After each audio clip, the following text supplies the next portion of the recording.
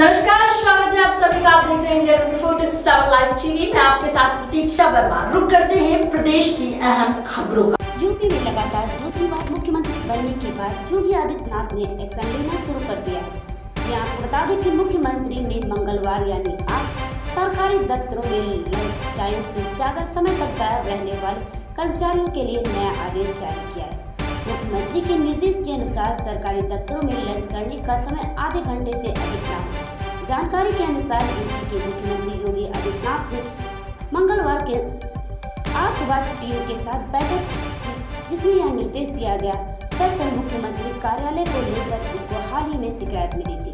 इसके बाद आज हुई बैठक में सरकारी दफ्तरों में लंच करने का समय आधे घंटे तय करने का आदेश दिया गया। आपको बता दें कि मार्च महीने में आए विधानसभा बीजेपी ने एक बार फिर से यूपी की सत्ता में वापसी की, जिसके बाद योगी आदित्यनाथ लगातार दूसरी बार राज्य के सीएम बने। इसके बाद मुख्यमंत्री ने अपराधियों के खिलाफ कड़ी कार्रवाई की।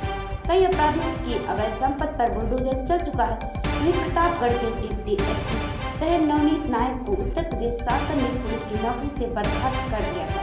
वहीं मुख्यमंत्री योगी आदित्यनाथ ने डिप्टी एसपी नवनीत नायक के लड़ी महिला से शारीरिक शोषण के आरोप के जाँच के बाद पुलिस सेवा से बर्खास्त करने का आदेश दिया।